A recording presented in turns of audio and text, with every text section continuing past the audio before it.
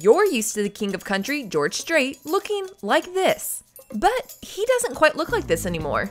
Over the coronavirus quarantine, many artists took matters of cutting their hair into their own hands, let their hair grow out, or got creative with their new do because why not? Strait didn't join in on the cutting hair trend, and the normally clean shaven singer is now sporting a much scruffier look, kind of following the footsteps of Luke Bryan, Morgan Evans, or Cole Swindell. You're going to either love it or hate it. The singer isn't very active on social media, so his new facial hair was able to be kept hidden until a recent video surfaced. Strait filmed a public service announcement released by Texas Governor Greg Abbott, reminding Texans to wash their hands, wear a mask, and stay six feet apart if at all possible. I'm Addison Hager with Taste of Country, and we want to know what artists you think have had the biggest quarantine makeover in the comments below. Also, we don't want you to miss any breaking news, so make sure that subscribe button is clicked. Hi, I'm George Strait. Yes, you are, and man, look at that beard. Here, we'll zoom in for the full effect. You're welcome. We all know that being Texan means being friendly. And as we open Texas back up, it's important that we stay extra friendly by thinking about all our fellow Texans. So go on, write this down.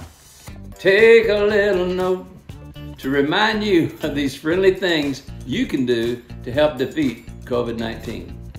Wash your hands regularly, wear a face mask, and stay six feet apart from others in public.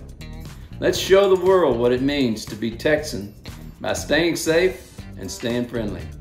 What do you think of the singer's facial hair? Like we said earlier, Strait isn't the first artist to make a hair change during quarantine. You have Jason Aldean sporting what looks like the making of a mullet. No, not necessarily Morgan Wallen status, but on the way. Speaking of mullets, Blake Shelton took some drastic measures with the hair clippers, joining the Beaver Paddle Club, complete with side stripes. Lauren Alaina went blue for a while, but in her more recent TikTok video, it seems like she's a blonde Southern belle again. Thomas Rhett and Shay Mooney did the opposite of Strait, leaving their once hairy faces now smooth as a baby's bottom.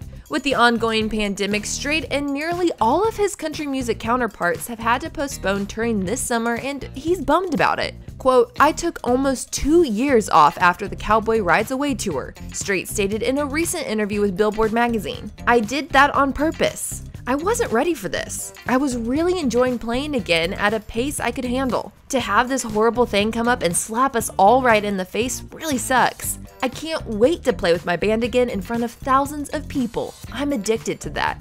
Until we see him in concert, we'll leave you one more time with this image. I'm Addison Hager with Taste of Country. Thanks for watching, and as always, thanks for subscribing.